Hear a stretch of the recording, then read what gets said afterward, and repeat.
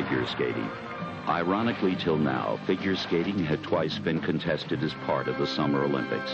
In women's figure skating in Chamonix, a legend was born with the appearance of an 11-year-old Norwegian girl, her name Sonja Henie. No one knew then that Sonja Henie, finishing last in the competition, would become the most dominant and publicized Olympic champion of her era.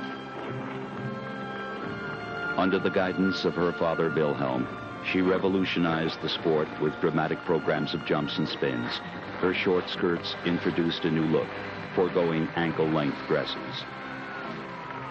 Three years later, at age 14, she won her first world championship. And the following year, at the 1928 San Moritz Games, her first gold medal.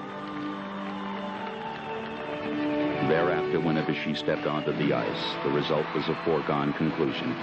For 10 years, she dominated the sport, from 1927 to 1936. 10 consecutive world championships, three Olympic gold medals.